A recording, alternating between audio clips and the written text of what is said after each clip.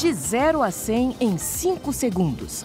Para muitos fãs, o esportivo Porsche 911 é o melhor carro que existe.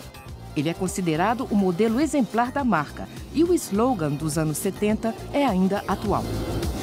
Ninguém precisa dele, mas todo mundo quer. O carro inteiro representa um estilo de vida. Esportivo, bom para o dia a dia e caro desde sempre. Na Europa, ele é vendido a partir de 100 mil euros. Porsche se tornou obra de arte nas mãos do artista austríaco Hannes Langeder, aqui com a mesma mecânica das bicicletas.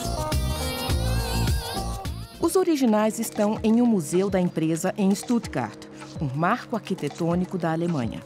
A exposição é uma encenação orgulhosa de uma história cheia de sucessos.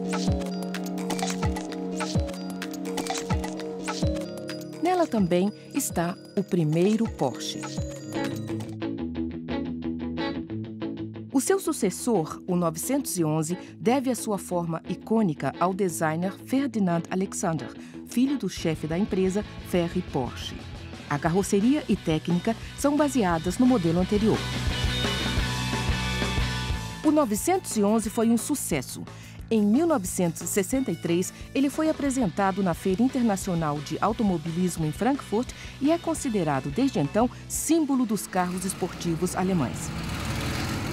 Em corridas, ele conquistou mais de 20 mil vitórias, entre elas o Rally de Monte Carlo e a corrida de 24 horas em Le Mans, na França.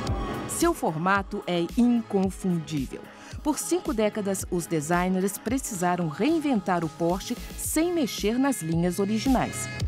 A versão que está nas ruas hoje já é um modelo da sétima geração.